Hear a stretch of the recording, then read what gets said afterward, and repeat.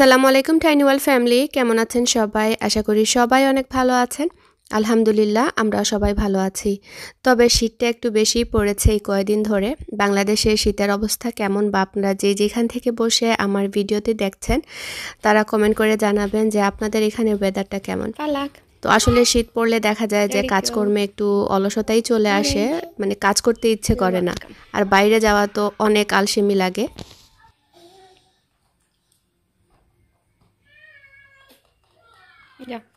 এখানে আমি বার্ডিংটন থেকে যে মোচিটা নিয়ে এসেছিলাম, এটা হচ্ছে কোন ফ্লেভারের? তিলের আই থিঙ্ক ওদের একটা গ্রিন টির ছিল আর এইটা ছিল, পরে এইটা নিয়ে এসেছি। দেখি খেয়ে কেমন লাগে। একদমই তুলতুলে সফট আমি ফ্রোজেন যে মোচিগুলো, সেগুলো সবসময় বাসায় আনি মানে এনে খেয়েছি বাট এই ধরনের একটা কখনো খাইনি সো বিসমিলটা করে ট্রাই করি।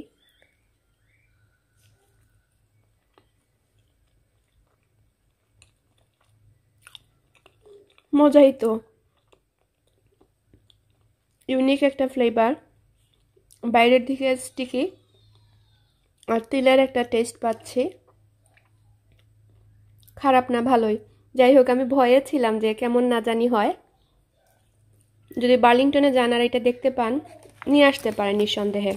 প্রাইস ওয়াইজ একটা, দুইটা, ছয়টা মোচি, ভালোই।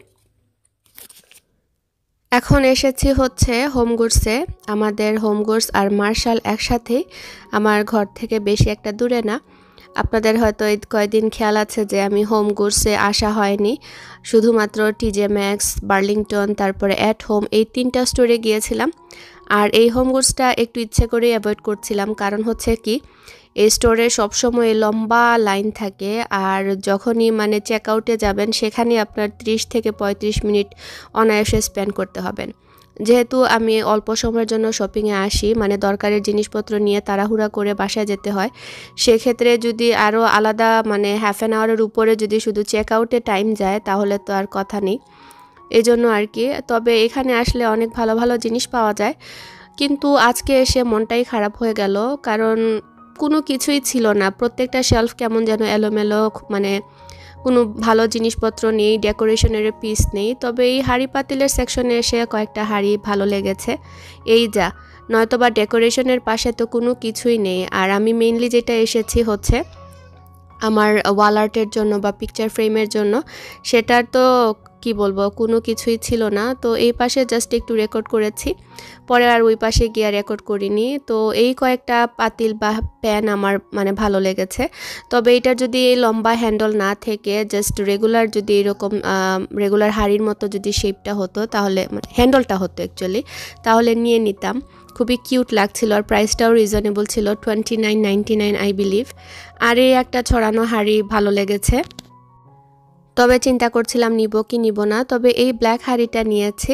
মনে হচ্ছে যে ফ্ল্যাট একদম হাড়ির যে ঢাকনাটা অন্যরকম স্টাইলের আর খুবই কিউট লাগছিল। আসলে হাড়ি পাতিল দেখলেই না শখ লাগে কেনার জন্য। এই যে একদম উপরে টপটা, আর এটার প্রাইসও ছিল টোয়েন্টি নাইন নাইনটি নাইন মানে ত্রিশ ডলারে আর এই পাশে কয়েকটা ডেকোরেশনের পিস ছিল, যেগুলো হচ্ছে জাস্ট ক্যান্ডল হোল্ডার ডাইনিং টেবিলের উপরে দেওয়ার জন্য। ডিনার টেবিলে দেখতে আসলে খুবই ভালো লাগবে। বেশ কয়েকটা স্টাইল ছিল। এই যা, আর কোনো কিছুই ছিল না। আর ওই পাশে আরও কয়েকটা দেখলাম অলরেডি তারা ভ্যালেন্টাইন্স ডের জন্য জিনিসপত্র নিয়ে আসা শুরু করেছে। আমাদের এখানে আসলে খুবই লিমিটেড ঘর সাজানোর মানে স্টোরগুলো দেখা যায় এই কয়টা থেকেই ঘুরে ফিরে কিনতে হয়। আগে একটা ছিল পিয়ার ওয়ান ইম্পোর্ট তো ওইটাতে আবার একটু একটু ডিফারেন্ট জিনিস পাওয়া যেত। আরেকটা আছে কার্কল্যান্ড কার্কল্যান্ডে গেল কেমন যেন সব ফার্ম হাউস স্টাইলের সো যারা ফার্ম হাউস পছন্দ করেন, তাদের জন্য ঠিক আছে বা আমারও ভালো লাগে, কিন্তু সব জিনিস আবার পছন্দ না। আর এই যে এখানে পিঙ্ক কালারের সবগুলো দেখতে খুবই কিউট লাগছিল। এটাও আই থিঙ্ক ওরা ওই ভ্যালেন্টাইন্স ডে সামনে তো ফেব্রুয়ারি মাসে সো এই উপলক্ষে আগে ভাগে নিয়ে এসেছে।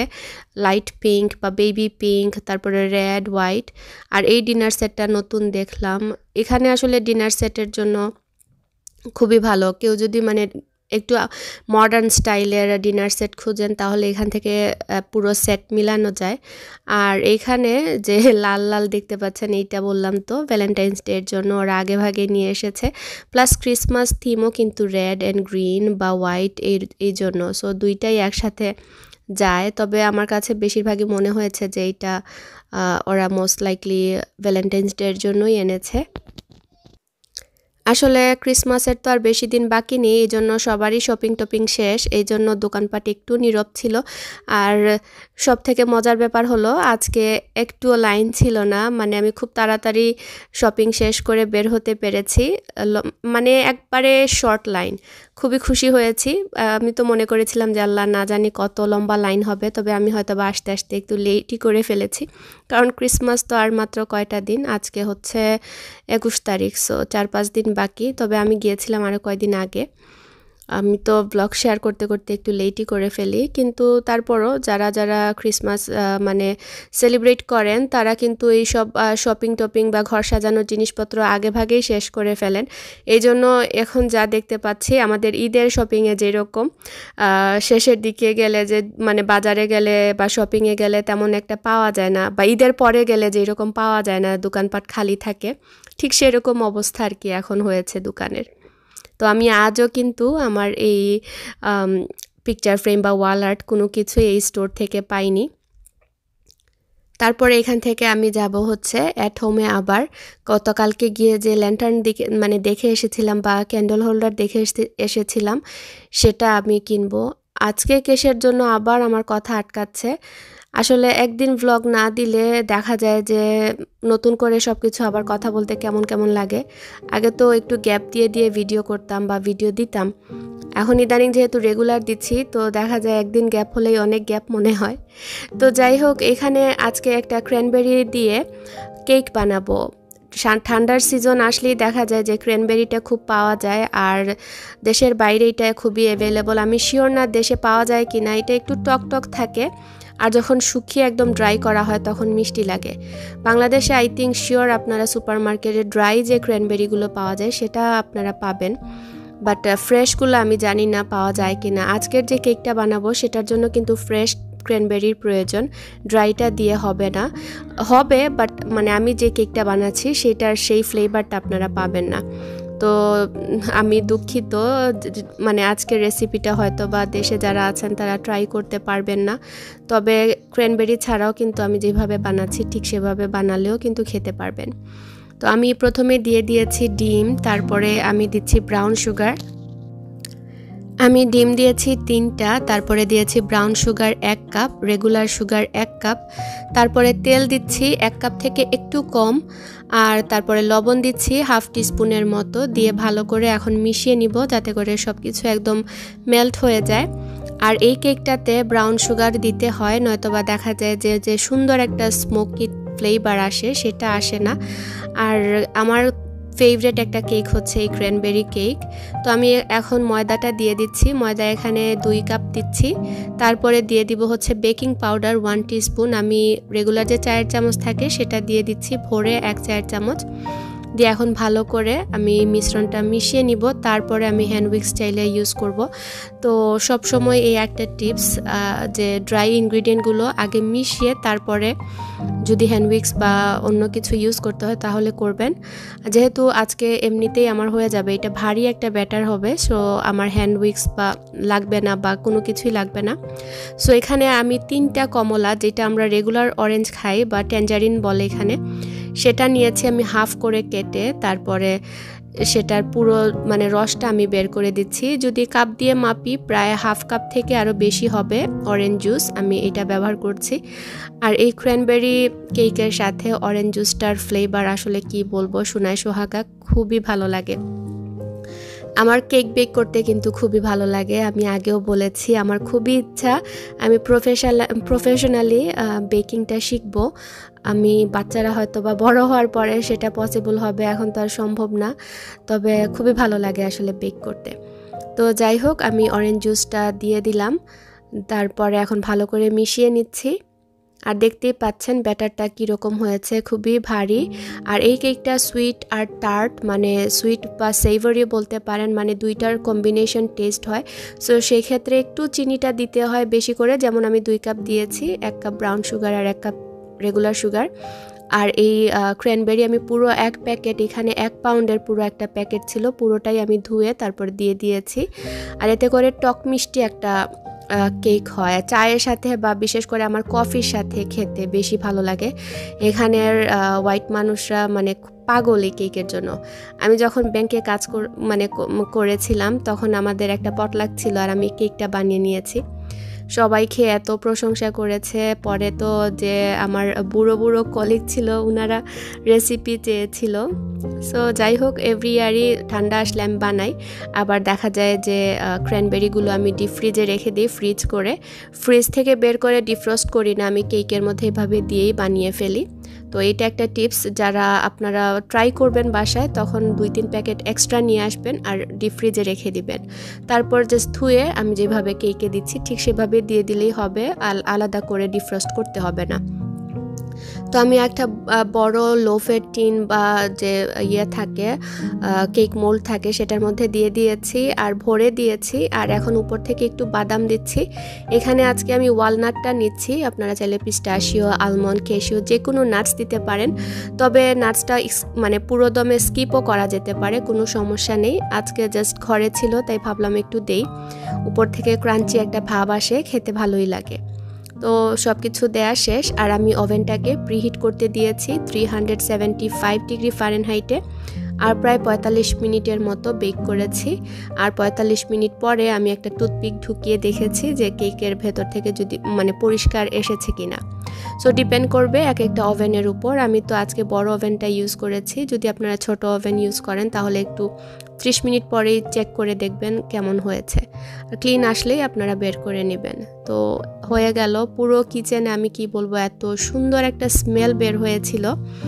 কেক বেক করার ওই একটাই মজা যে কিচেনটা পুরো আমার বেকারির মতো মনে হয়।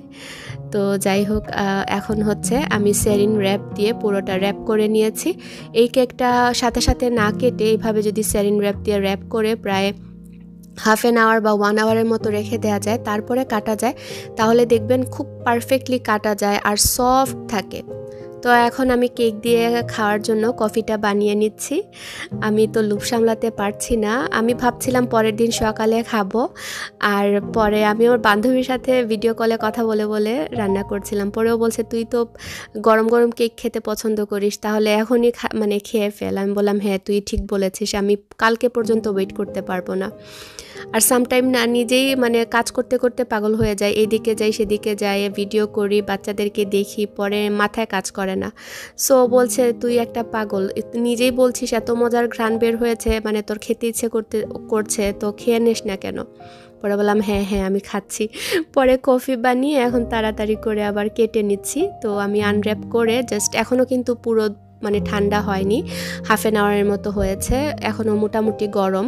সো একদম পারফেক্ট এত মজার কেক কি বলব মাসাল্লাহ বাসায় অবশ্যই ট্রাই করবেন। যদি ক্র্যানবেরি আপনাদের হাতের কাছে অ্যাভেলেবল থাকে, তাহলে ডেফিনেটলি ট্রাই করবেন। আর আপনি সকালবেলা চায়ের সাথে বা কফির সাথে, আমি বলব আর কোনো নাস্তাই লাগবে না।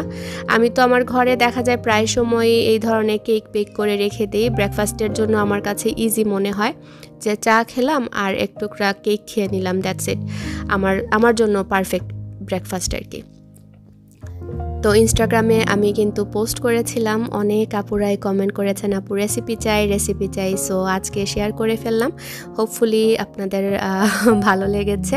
আর এখনও যারা আমার ইনস্টাগ্রামে বা আমার ফেসবুক পেজ বা ফেসবুক গ্রুপে জয়েন করেনি, তারা চাইলে জয়েন করে নিতে পারেন। আমার চ্যানেলের সেম নামেই কিন্তু আমার সবখানেই আপনারা সোশ্যাল মিডিয়াতে পাবেন। তো যাই হোক, এখানে আমি আদিয়ানের স্কুলের জন্য, স্কুলের টিচারদের জন্য আর কি গিফট রেডি করছিলাম। আসলে এই ব্লগটা তো কয়দিন আগের, আদিয়ানের স্কুল এই ফ্রাইডেতে বন্ধ হয়ে গিয়েছে, তো ওই দিন ওদের ক্লাস পার্টি ছিল। তো বৃহস্পতিবারের রাত্রে আমি কার্ডগুলো রেডি করেছি ওদের হচ্ছে ছয়জন টিচার দুইজন হচ্ছেন মেইন টিচার আর বাকি চারজন হচ্ছেন আর অন্যান্য সাব টিচার মানে আর অন্যান্য সাবজেক্ট টিচ করেন। তো এই জন্য আমি বুঝে বুঝে সবার জন্য গিফট রেডি করেছি, আপনাদের সাথে আগেও শেয়ার করেছিলাম, আজকে ফাইনাল একদম মানে র্যাপিংটা দেখাচ্ছি। তো একজন আপু আমাকে কমেন্ট করেছিলেন যে, আপু, আমি আমেরিকাতে নতুন এসেছি, কি কি গিফট দেওয়া যায় একটু আইডিয়া দিও। তো আমি ওনাকে কমেন্ট করে জানিয়েছি। আবার আবার জিজ্ঞেস করেছিলেন যে, আপু কীভাবে গিফট দিব বা না দিব? তো আমি শিওর আপনারা সবাই জানেন। তারপরও যেহেতু ভ্লগ করি ভ্লগের মানে খাতিরে অনেক জিনিসই বলি। তো আজকে বলে দিচ্ছি যে বাচ্চাদের সাথে আসলে স্কুলে গিফট দিয়ে দেয়া হয়। আর লাস্ট ডেতে ওদের একটা পার্টি হয় মানে হলিডের আগে। সো ওই পার্টিতে আমি সবসময় গিফট দিই। তবে চাইলে আগে ভাগেও কিন্তু গিফট দেয়া যায় বা অফিসে চাইলেও নামিয়ে দেয়া যায়। তো আদিয়ানের বাবা কালকে সকালে, আমরা, আমাদের তো বাস আসে, তো বাসে চাইলেও বাচ্চারা যায় প্যারেন্টসরা হয়তো বা পরে নামিয়ে দিতে পারে। আর আমাদের বেশিরভাগ সময় দেখা যায় আদিয়ানের বাবাই আদিয়ানকে স্কুলে নামিয়ে দেন সকালবেলা। সো এই জন্যই আদিয়ানকে উনি দিয়েছেন আর গিফটগুলো সাথে করে নিয়ে দিয়েছিলেন আর কি। তো যাই হোক এখানে আমি নামগুলো লিখে নিচ্ছি। আর যার যার টিচারের নামে একটা করে কার্ড লিখে দিয়েছি প্রত্যেকটার ভেতরে। আর যেই যেই গিফট দিব যাতে আমার মানে বুঝতে সুবিধা হয়, বাইরের দিকেও আমি লিখে দিয়েছি আর আদিয়ানো যাতে দিতে পারে ও পরে। আর এখানে চারজন মেল টিচার ছিলেন আর দুইজন ফিমেল সো টোটাল হচ্ছে সিক্স সরি দুইজন তিনজন মেল তিনজন ফিমেল আমিও ভুল ভুলে গিয়েছি। তো যাই হোক মেইন টিচারদের জন্য আমি একটু বেশি করেই গিফট নিয়েছি। তো এখানে আমি ওনাদের জন্য বাথ অ্যান্ড বডি ওয়ার্কসের যে বডি মিস্ট থাকে, তারপরে বডি লোশন থাকে, সেটা দিয়েছি, একটা ক্যান্ডল দিয়েছি, তারপরে বাথ পম দিয়েছি, তারপরে চকলেট দিয়েছি। মানে ওনাদের জন্য একটু ভালো গিফট দেওয়ার ট্রাই করেছি একসাথে করে। আর বাকি টিচারদেরকেও আমি এইভাবে দিয়েছি চকলেট তারপরে হ্যান্ড লোশন বা হ্যান্ড ক্রিম বা এই ধরনের জিনিস। মানে নিউট্রাল যেই জিনিসগুলো ওনারা ইউজ করতে পারবেন ঠিক সেগুলোই। গিফট আসলে খুব যে দামি হতে হবে এমনটা না। আপনার ইচ্ছা যেই কেউ এক বক্স চকলেট দিলেও ওনারা খুশি হয়, কেউ না দিলেও কোনো প্রবলেম নেই। এটা যার যার ইচ্ছা আসলে। বাচ্চাদেরকে যেহেতু ওনারা কেয়ার করেন সব সময় আর আমি ঈদের সময়ও ওনাদেরকে দেওয়ার চেষ্টা করি। এতে করে ওনারা বুঝেন যে এটা আমাদের হলিডে এছাড়াও আমি হলিডের সময় দেখা যায় আমাদের যে গার্বিজ ফেলেন যে ভাই, ভাইয়েরা বা আমাদের পোস্টম্যান ওনাদেরকেও আমি ছোটোখাটো গিফট দিয়ে থাকি। এতে করে ওনারা খুশি হয়। আসলে সারা বছর কষ্ট করে, এটা তো ওনাদের ঈদের মতোই। সো গিফট আদান প্রদান করলে ভালো লাগে। যেমন আমার নেইবার আমাকে সবসময় আমাদের ঈদের সময় এসে ঈদ মুবারক বলবে, খুবই ভালো লাগে। ঈদের দিন সকালে আসবে, আমাদের সাথে নাস্তা করবে। সো সৌজন্য সৌজন্যতা বা সৌহার্দ্যতা তো আদান প্রদানের মাধ্যমেই বাড়ে। তো ওনারা আবার আমাদেরকে থ্যাংক ইউ কার্ড বাসায় দিয়ে দিয়েছেন আদিয়ানের সাথে। আর কথা বলতে বলতে, একটা কথা তো বলতে ভুলেই গিয়েছিলাম, যেটা হচ্ছে যে, আপনারা হয়তো খেয়াল করেছেন, আমি প্রত্যেকটা গিফটের প্রাইস ট্যাগ খুলে নিয়েছি। আমি সবসময় এটা করি। আমার কাছে ভালো লাগে না গিফটের মধ্যে প্রাইস লেখা থাকলে। সেটা হোক এক টাকার গিফট বা একশো ডলারের সো এই ছিল আজকের ভ্লগ হোপফুলি আপনাদের ভালো লেগেছে। ইনশাল্লাহ নেক্সট ভ্লগে আবারও কথা হবে। সবাই ভালো থাকবেন। আসসালামু আলাইকুম।